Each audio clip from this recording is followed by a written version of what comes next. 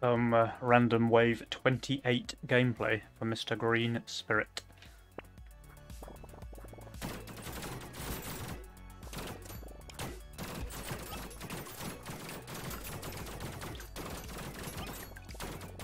Seems pretty pretty balanced.